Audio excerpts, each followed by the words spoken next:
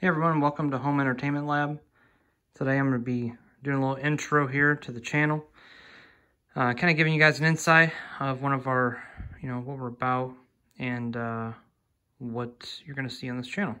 So I figured the first thing, it's kind of the one of the focal points of our house, um, is our home theater. And uh, so this channel, I'll be going over um, some DIY projects, um, different parts of the home that we use for entertaining and spending time together. Um, you know, with this pandemic and stuff, it's made a huge difference in how we spend our time. Um, made people more of a homebody. So anyway, this is our home theater. And kind of see here a little bit of info. It is roughly about 19 feet front to back and about 14 and a half feet wide. Um, don't mind, we don't have the greatest seats in here yet or anything like that. Um, we bought those from Nebraska Furniture Mart. I'll get into that here in a little bit. So we'll start out here and front and center, and we'll work our way around the room into different things. And I really want to pinpoint uh, some of the things I like about some of the things we did and a few of the things I would change in the future. We do another theater or, you know, just as time goes on, swapping gear and equipment out um, and whatnot.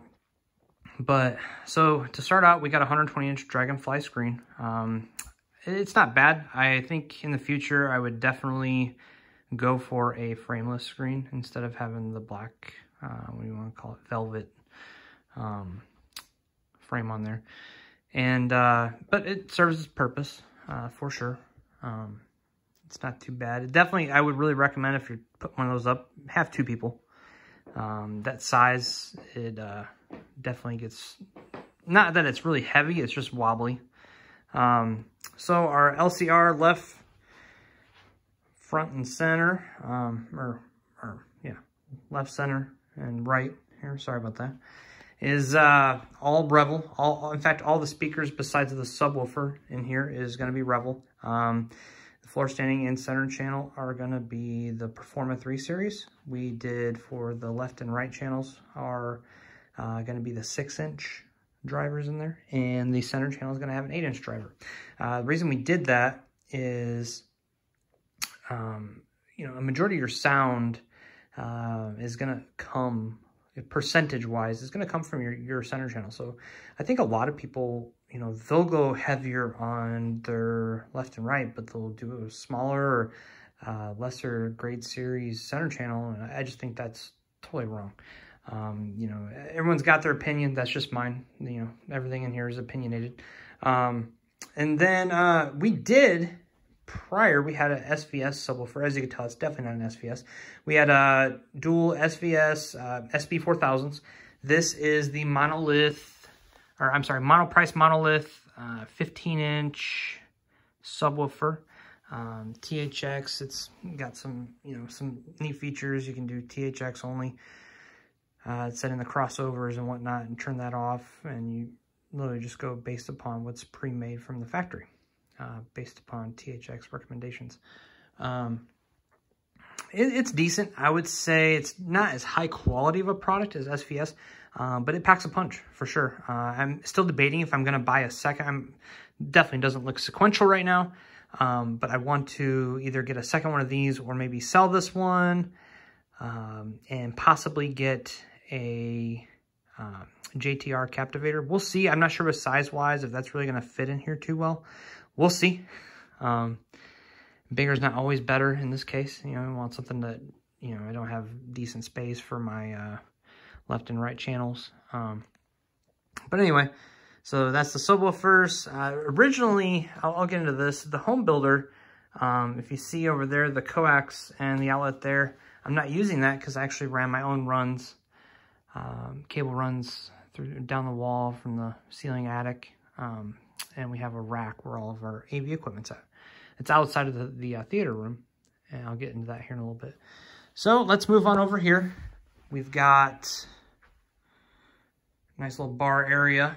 Um, over here, I ended up taking out, there was a bottom there. Uh, it was meant to be for a microwave. And we already had the popcorn maker. I'm like, well, I think that's just more of a nostalgia thing in a theater. And I decided and talked to the wife, and we decided it would definitely be a better idea to have that in here than having a, a, a uh, microwave. Um, they are kind of hard to clean. If you don't have one, um, you know, I, I think they're neat to have. Uh, definitely gives that, you know, popcorn smell in here and whatnot. I think it just adds to that authenticity kind of a feel. Um, so that's what we were going for. Obviously, you can do more things in a microwave, but these are very hard to clean. I will say that.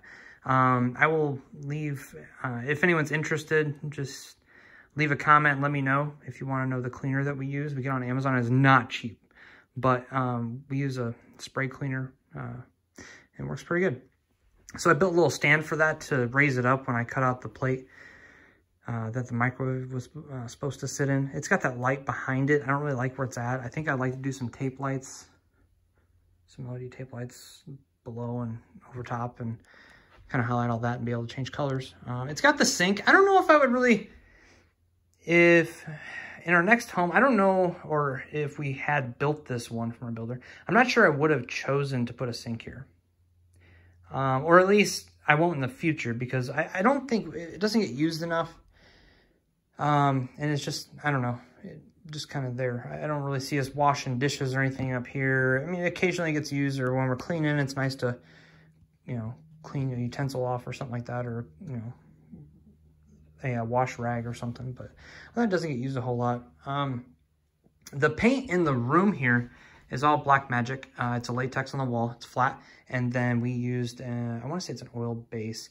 Uh, the two, it's all Sherwin-Williams Black Magic, and it's going to be uh, cashmere and emerald. They are not a cheap paint. I will say that. Um, I want to say the trim paint was $90 a gallon. And I think that's even with a little discount. Um, the wall paint, I think we're right around $50 a gallon for the wall paint. So it's not cheap, but we don't use a whole lot of it, especially on the cabinets. That paint goes a long ways. Um, but yeah, no, we like the color of it. Um, you know, the builder did a different color. We didn't like the person that designed it, uh, the colors that they went with and figured it would match kind of the color tones that we're going with in here in the theater. Um, down here, we've got a mini fridge. Um, something to note, uh, if you're looking for one of these, is definitely get a fridge that has the ventilation in the front of it. You can see it, it's got the ventilation down there. Because if I, have seen a few people and look at a cheaper fridge or even some can be expensive, but they're not designed to be in a fully enclosed area like that, as there's not a lot of space behind there. And if the compressor is vented to the back, you're going to have some problems and it's not going to last as long. Um, and so, yeah, that's something to to note, definitely make sure that you're getting the proper product if you can um, to do that. This does have some lights up here um, for the temperature, and it's not that big of a deal. I just leave it on uh, so I can kind of monitor it, make sure, you know, I'm not having issues with temperature. Uh, we don't really stock it right now. We're in North Texas. You know, here in a little bit, we'll probably go ahead and start stocking up more as it gets colder. But we have an outdoor fridge and an outdoor kitchen, and we use that a lot um, during the summer. It's just more convenient, I think. Um, it does lock if you've got little kids like we do. We've got a soon-to-be teenager and a three-year-old. And there can be some hot items in there that they want to try to get some sodas and whatnot. So um, definitely, I, I, would really recommend one with a lock. That's what largely drew us to this one. And it had a separate wine side that we kind of use for liquors and wine and stuff. And left side for, you know, other things, sodas and beer and stuff. Anyway, um, so yeah, that's uh, the the lights. It, it's not that big of a deal in there. Um, you can turn them off. I just leave them on. But if the, it is dark in the room, it'll let off a little bit of uh, light. And over here, it'll kind of shine off the speaker. But it's not that big of a deal. Um, it doesn't bug me that much. And uh, oh yeah, here, real quick, I'll go over. Um, I, I, know that it looks a little goofy down there. Uh, all it is is I built a shelf for the center channel. Get it up off the ground. Um, it's not quite ear level, um, but it's definitely better than it was. It's about 24 inches up off the ground. And all I did was a piece of uh, one by material. Um, I want to say it's 16 inches wide. It's a pretty big piece. And that speaker is not light. I know a lot of people do the floating shells, but there's an outlet back there, and that's where I was going to put the subwoofers, is, you know, left and right of the center channel. And uh, so I wanted to be able to, hi to hide the wires back there. And I was like, okay, that's an easy solution. And over top of that, I just got a piece of material that's actually a, um, a curtain, a blackout curtain. So that, that was kind of an easy solution. I, I haven't kind of fixed it up and made it look all perfect and stuff yet, but I'll get there. Um, over here, we've got a bar. Um, this has been a nice addition. I haven't put any bar stools here or anything uh, yet but I plan to. The idea of it is we like to actually eat in our theater, and it just seems like, you know, if you've got plates and stuff, you know, it's not hard for them to get spilled and stuff in the chairs, and it's, it's just not that friendly, I think, to try to eat in here. I like to eat in here. We like to have, you know, pizza night and stuff like that and watch a movie. Um, but, so anyways, I did some LED lights up underneath. And, uh, kind of show you. I didn't paint up all up underneath there, but so there you see I got the LEDs and uh, got a power strip there. I ended, I ended up adding that outlet right there. I just, you know, cut it into the drywall, fished it up there, no big deal. Um, this is all one by material, uh, and I actually used a shelf bracket to support it over on this side. And I didn't want to put all the pressure because I, figured there might be some weight up here or people, you know, putting their elbows on here and stuff like that. Um, I didn't want to put that bracket straight on the drywall. Uh, it was so thin, I thought maybe it might tear in. And then I actually just took a 2x4, ran it across into the studs, and I, I put screws into the studs, and then I just put it on top. Used a brad nailer, some wood filler, and finished it up. Um, over here, those definitely are more of an aesthetic than they are to do anything for sound. If anything, it might give you some, you know, bouncy, you know, sound bouncing around in the room. But, um, so I did the Harmony, uh, system here, and I, I was a little mm, iffy about it when we first did it, because I was watching a lot of YouTube videos and reading reviews. A lot of people said it was hard to set up. I didn't find that it was hard to set up and to get the stuff, all of our equipment connected to it. The problem that I had was later on down the road, we actually, so right now we have an Epson, I'll get to that here in a second. We had, we used to have a Sony projector and the problem was when we didn't have the Sony anymore, we went to the Epson, trying to change it in the system was not simple. I, I maybe I just forgot the steps, um, but trying to change it to control the Epson projector from that, it was kind of difficult to change. If I want to call it the scene, it, uh, you know, you can create different scenes of what it does when you push the button and stuff. Um, you know, the, the functions. And so these here are just to hide the wire. All that is, is a Kindle Fire. I can't remember which model it is. It's a Kindle. And then I bought a wall mount system with it. I was going to try to run the wires in behind here down and at least underneath the little bar top counter here. Um, but there's actually uh, some ventilation. Uh, I want to say it's an air return or air duct that runs in there. And it's pretty tightly fitted. And there's a ton of insulation that actually fell down in there when they blew the insulation for this house. And it was not easy to get anything in there. There's so many two by fours, two by sixes that frame that out back in there. It is, I, couldn't get a fish to tape down there to save my life. I'd had to cut that all open just to run 24 inches of cable. So that's the solution right now. I'm sure it'll change on the road. Um, we got the Ecobee, which that's kind of an odd thing. I don't like that they put the builder put that in here. Um, there, if yeah, if you can keep your theater controlled separate, I think that's great. But this is in the upstairs of our house, and like, okay, for instance, right now it's December. It, it's December in North Texas. So sometimes it's getting down into the 30s. Um, I've noticed that if we're having the projector on for a long period of time, kids are playing video games or watching movies, um, and it's warm in here. You got that projector that puts off a lot of heat if you don't know.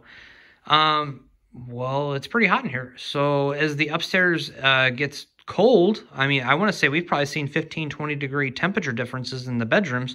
If that doesn't run for, you know, uh, six, seven, eight hours, you know, if kids are playing video games all day or have their friends over, it can be a while. So that's something that that's our, I just, it, like I said, we didn't build this home. Um, somebody else designed it. If that's something I, I really think that builders specifically should pay attention to. And then the other thing is, I mean, we've got a, the light in there doesn't really put off any heat in that sconce, but if it did, I mean, that would make no sense to have it right next to a thermostat. So this is just overall not a very good design. As, as to who did that, um, I would just, wow, kudos to you. But anyway, uh, these sconce lights, they're nice. The placement of them I think is kind of cool. Um, with the bar there, I guess it kind of throws it off, but it gives a little bit of light if you're on your phone or something like that. Um, but I think we are going to swap them out for some like stainless steel looking ones that are probably a little longer. Um, over on that side as well, we have one. Um, but yeah, so that's that. And uh, yeah, so eventually we're going to do some bar stools in here, probably some high back bar stools that got back support and stuff like that. You can turn sideways and watch TV and, or, you know, watch whatever's on here and uh, eat food. And then, so over here, um, these are the seats we have. They're from Nebraska Furniture Mart. Um, they're not the greatest thing. Let me kind of demonstrate why I'm going to say that. They the functionality, they're, they're good. They function just fine. Uh, the leather is kind of noisy. Just use a little bit of saddle soap and it kind of gets rid of that uh, every once in a while. Um, I personally like having leather instead of a cloth material or something else. Um, with the kids, I'm going to tell you, they're rough on this stuff. I mean, we probably have to take these up every month and make sure we vacuum with whatever's underneath them. But anyway, um, you know, they get stuff on here, drinks or whatever, and, and it's easy to clean up for sure. The one thing I cannot stand, let me point this out, is the gap. The gap in the back here is huge. And I mean, this, it gets huge. So when you push down the cushions and once they get broken in a little bit, people are sitting in them, they're softer. And oh my gosh, there's no lower back support in these chairs.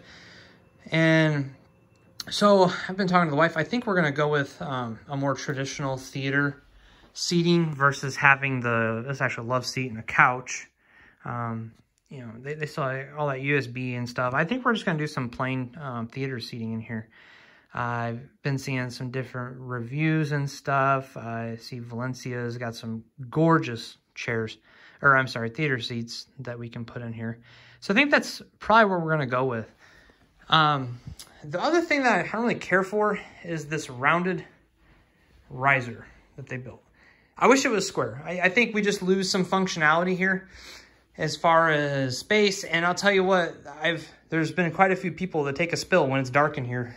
I think in part just because instead of having like some stairs on one side, we have a rounded riser that's just tiered like that. Um, I think it looks gorgeous. I think it would be better if it was turned around. Maybe that was just by the screen um, you know, and kind of showcase your screen and your front, you know, your speakers and whatnot, but it's not what it's designed in here for. So I think it's just kind of, it, throws things out of, out of retrospect there. Um, so like I said, we have the Epson projector. Um, I was actually taking the Sony projector that we had down one time to clean the filter, which I really didn't realize and I didn't want to read the manual or look at a video that you can change the, you can put a new filter in it or clean it with it up on the ceiling. Well, I dropped it down the ladder and like smashed the wall and destroyed the projector. So I replaced it with an Epson. And I had an Epson before at our last house and it worked fine. It's no issues there. Uh, 4K projector, not sure. I remember the other one we had was, it was upscaling to 4K. Over here we got a closet. Um, I will say, behind that closet there and that, all that is, it's an exterior wall.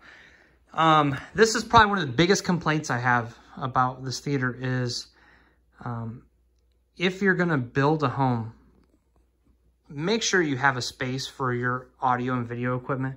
Uh, if you're someone that's going to be an enthusiast, but if you're doing a all-in-one box home theater system, you really don't got to worry about this. Um, but I'm hugely into audio and video equipment. That gets hot. It's an exterior wall. We're in Texas. It gets to 105, 106, maybe a little bit higher during the summer.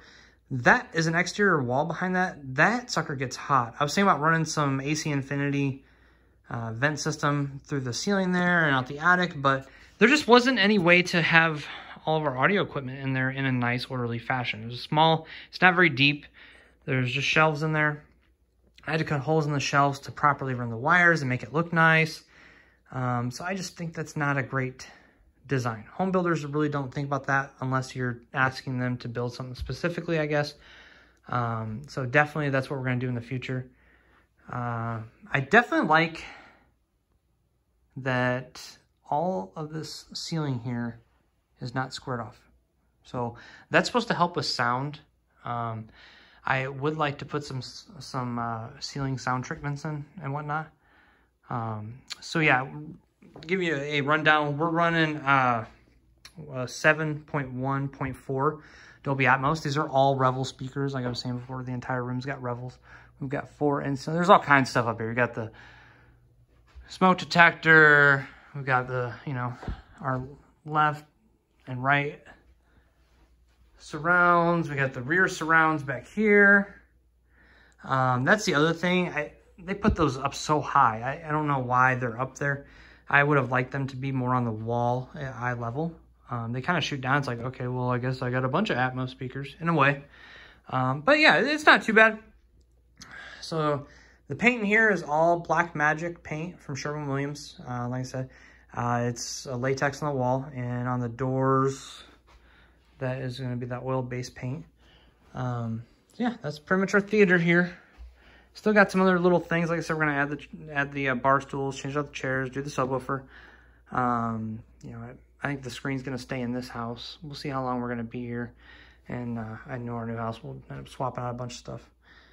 Um, you know, th that's the other thing I'd like to mention. If you're planning on, if you're doing the theater and you're not going to be there long, keep in mind that when you sell your house, um, the buyers, you know, sometimes they're going to want concessions and whatnot or to make the deal work. And they're going to try to, you know, our last theater, they wanted everything in the theater. And I was like, no, unless you want to tack, you know, 15 grand onto the theater, um, you know, that's not happening at the time. That's roughly what we spent here. Um, let me go over our AV rack here that's outside of our theater and kind of give you guys another view of the theater from just out here what it looks like when you walk into it. So we got the little stairs coming up. I still got to finish some trim. Like I said, I, I built out this, there was a, a, little closet for movies and I built it out into a full AV rack closet. And so we've got the double entry doors, comes up to that riser. And over here, we have a 42U rack with up above, I put the AC Infinity blowing or uh, fan system. And back in there, if you can see it, yeah, there's, I, I didn't really put a vent cover on there, um, but there is a uh, ducting and it draws the air up and out. Now it's not gonna work functionally until I put a door on here, all that gray. Once I put a door on, um, it'll draw, I'll, I'll, leave a gap, about a three inch gap at the bottom, and it'll draw air from the bottom and pull it up through, getting all the hot air out of the equipment. And putting it out there at the top of the room. So we should be able to get some cooler air down at the bottom of the uh, game room here. And so yeah, anyways, that's our theater and our equipment. Uh, if you got any questions or you got any recommendations or what we should do, uh, leave it down in the comments. I appreciate you watching. And here, I'll see you guys here soon. We're going to do a quick rundown of our game room and some of the other space in the house. But anyways, thanks for checking us out, and we'll talk to you later.